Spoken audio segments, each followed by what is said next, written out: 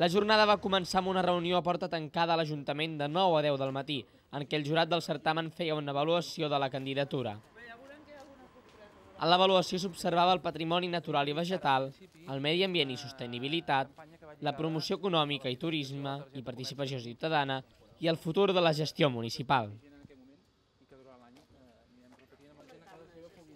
Després de la primera part, el jurat de Viles Florides, acompanyat d'alguns dels regidors de l'Ajuntament i l'alcaldessa Calamanda Vila, van fer un recorregut guiat per Cardedeu.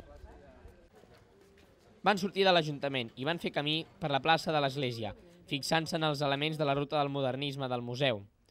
Van passar pel Parc dels Pinatons i per Pompeu Fabra, la Font dels Oms i altres espais verds de Cardedeu. En tot el recorregut es fixaven en els detalls de les zones verdes i el recorregut va acabar al Museu de Cardedeu.